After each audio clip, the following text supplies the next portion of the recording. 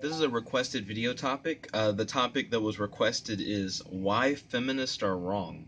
Uh, so I'm going to talk about like feminism in general and how I feel like the culture has really shifted. So the idea around, around feminism is the idea of having like equality for all genders kind of thing.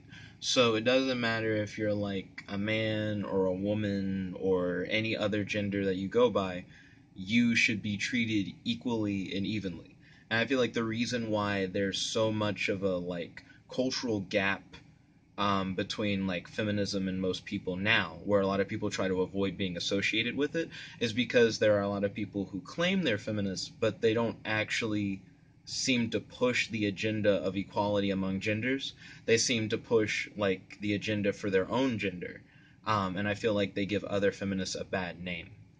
So that's more or less my take on the situation.